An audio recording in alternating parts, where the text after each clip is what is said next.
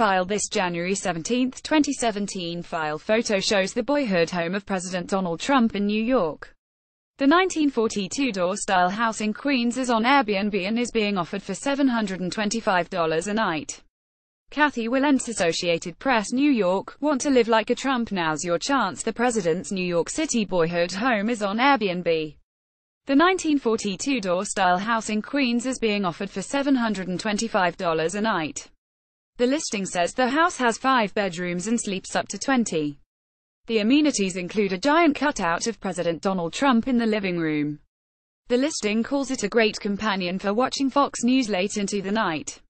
Smoking, pets and parties are no-nos.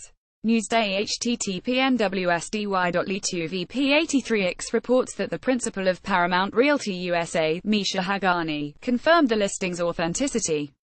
Paramount auctioned the house to an unidentified buyer in March for $2.14 million. Haghani says he can't disclose whether the home was placed on Airbnb by the property owner or by a leaseholder. Underscore underscore underscore information from Newsday. http www.newsday.com Copyright 2017 The Associated Press.